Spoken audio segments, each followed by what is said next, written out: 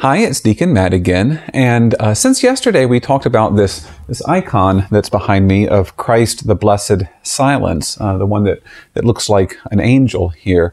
Um, I thought that uh, this week I could look at a few other icons of Christ that uh, that I have that uh, I think are interesting and that you might find interesting. Um, and the one that I'd like to talk about today is um, is this little one that I have here.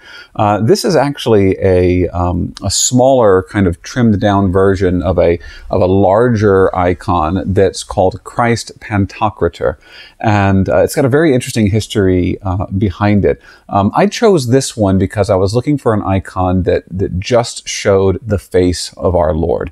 Um, I wanted one for devotional purposes that would um, just really allow me to focus on the face of Christ, to be able to to look upon the face of the Lord as I was praying. Um, and I wanted one that was small so that it could be portable. I could transport it with me to uh, to different places when I traveled.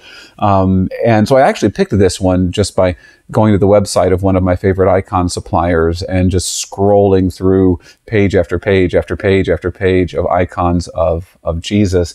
Uh, and again, I was looking for one that really showcased his face. Um, and the reason why I I selected this one was because of the eyes. Uh, the eyes in this one just, uh, just really I found to be very penetrating, and I said, yes, that's that's the one that I want.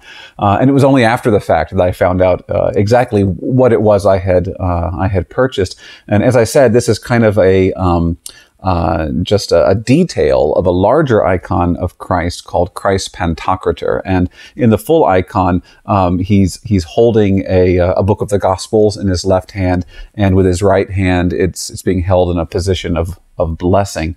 Um, but a few of the interesting things about this icon, um, one of the things that people will note about it is the asymmetry that you'll see. Um, the the left hand side of his his face um, is quite different than the right hand side of his face, and you can even see the details in the hair are different. Uh, the hair is kind of down and loose over his shoulder on this side, whereas it's pulled back behind him there. Uh, this side of the face has a much harsher, sterner look to it, whereas this side is much, much gentler.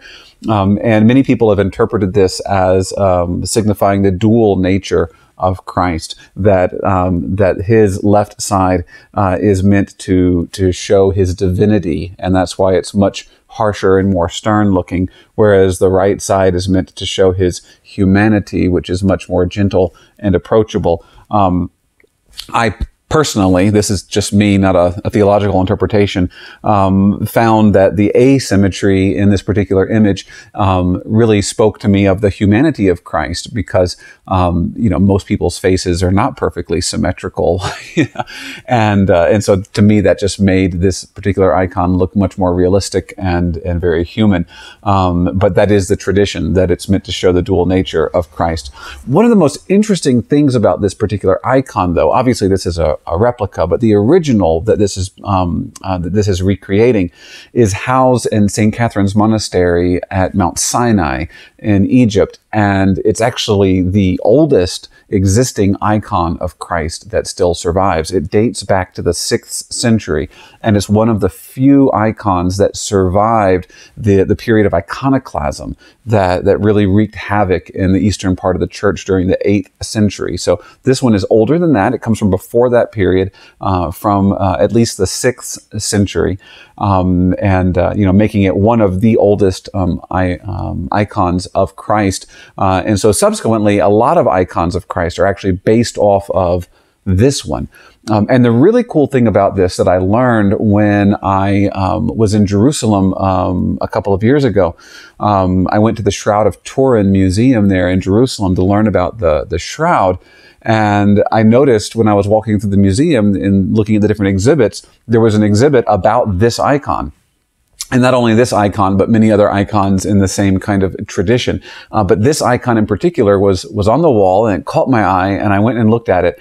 And modern day forensic um, uh, techniques have been able to identify over 250 points of um, uh, uh, of, of, congruence uh, between uh, the face on this icon of Christ and the face from the Shroud of Turin. Uh, and that leads many experts to believe that um, the original source of this icon um, was either the Shroud of Turin directly, or or possibly um, a relic um, called the the Holy Napkin or the um, uh, the Sudarium, um, which would have been the face covering um, that, was also uh, there uh, as part of the burial cloths of, of Jesus, um, or if this icon wasn't itself directly based on that, that it was based on other depictions of Christ that were based on that, uh, because there's so many different points of congruence between this and the face that we see depicted on the shroud.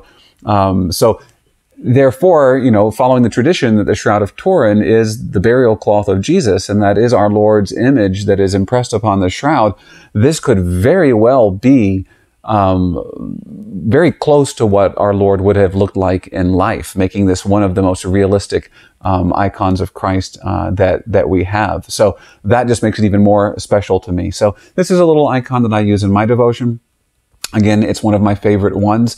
Um, it was one of my favorite icons even before um, I learned about the possible connection with the Shroud of Turin, just because of the the intensity of, of the eyes there. But now that I know that this um, could, in fact, very well uh, be um, much like what the historical Jesus uh, looked like, it's even more special to me to be able to gaze upon the face of, of my Lord in prayer. Praise be Jesus Christ.